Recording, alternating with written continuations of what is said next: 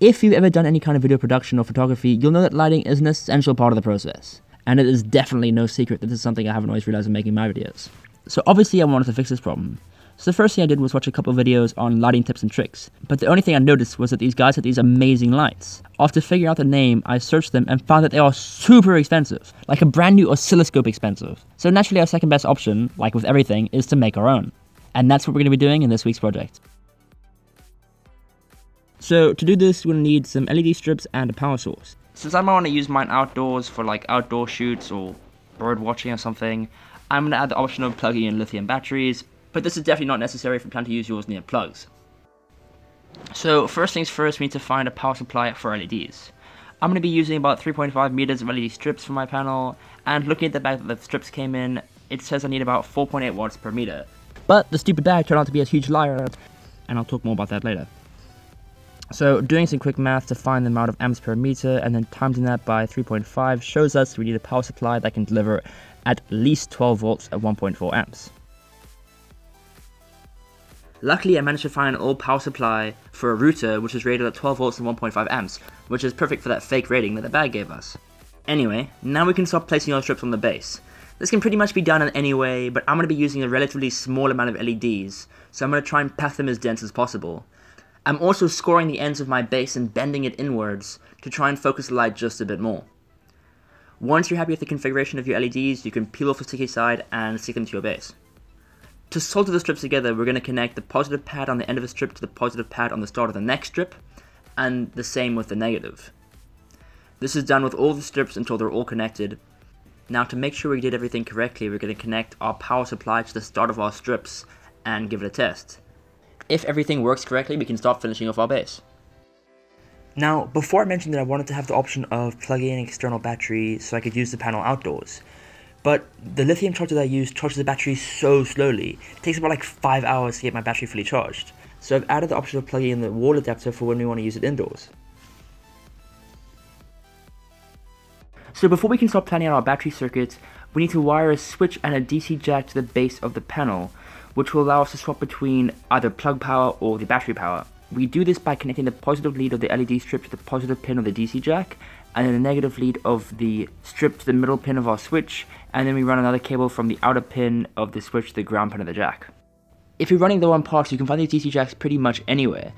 I salvaged the female side from an old router, and the two male sides came from some old power supplies. This is why you should never throw away old electronics, because they will come in handy one day. Now when testing this with the batteries and using it as an overhead light, I found that the base would bend quite a lot under the weight of the batteries. So to stop this, we're going to add a few more layers of cardboard until it no longer bends. Next, we stick some Velcro to our battery pack and to the back of the base. This will allow us to remove the battery when it's time for charging. We need to place it as close to the middle as possible to stop the base from being overbalanced. Once you've got it stuck on, we can start planning out our battery circuit. The first thing we need to do is connect the positive and negative lead of the battery to the positive and negative pad of the charging circuit labeled B plus and B negative. Next we connect the negative and the positive output of the pad to the negative and positive inputs of the boost converter. This is a boost converter. It basically takes a lower voltage and lets you boost it up to a high voltage within a certain range. It's able to do this very efficiently, which means it shouldn't heat up too much. Our boost converter is going to take the 3.7 volt output from the battery charging circuits and boost up to 12 volts, which we can use to power LEDs. Now getting back to our circuits, the last thing we need to do is connect the positive output from the boost converter to the positive input of the jack connector and then the negative to the negative. However, when testing the three 18650 cells, I ran into a huge problem.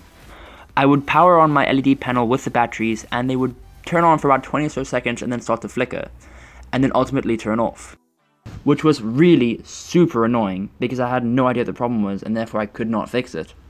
I started investigating with my multimeter and found that the output pins of the lithium charger were no longer outputting 3.7 volts anymore.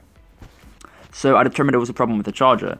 After researching the charger for a bit, I found that it's only meant to charge one 18650 cell, which means I'm going to have to downgrade from 3 to 1.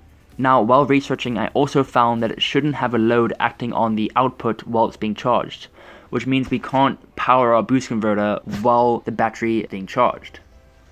So now we can go back to our original circuit and modify it to work with these changes.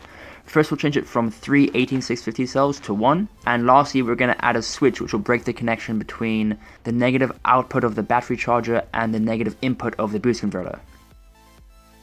So once these changes are made, we can see the battery does work. However, now I'm a bit worried that the current draw from the LED will be too much for the battery.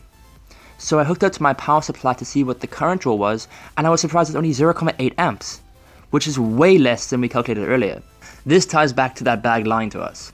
So what I figured must have happened was the shop I bought them from put my LED strips into an old bag for a different strip with a different rating. That does make a lot more sense because when I bought it, I noticed that the bag wasn't sealed. Anyway, now we can start building a case for our battery and circuitry and put some Velcro on it. After that's done, we'll give everything a final test. Now, during my testing, I found that my boost converter got a little bit hot, um, which seemed weird because I'd never had one of these get hot before, and they're supposed to be really efficient, which means less heat production. But after some research, I found that other people had experienced them getting pretty hot as well, so it was nothing to worry about. With that sorted out, the panel was pretty much done.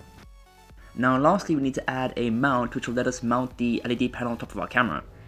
And then I just added a layer of black electrical tape to the edges to make it look nice, but this is definitely not necessary if you're not awful at cutting and gluing cardboard like me. So now that everything's done, let's take a look at the results.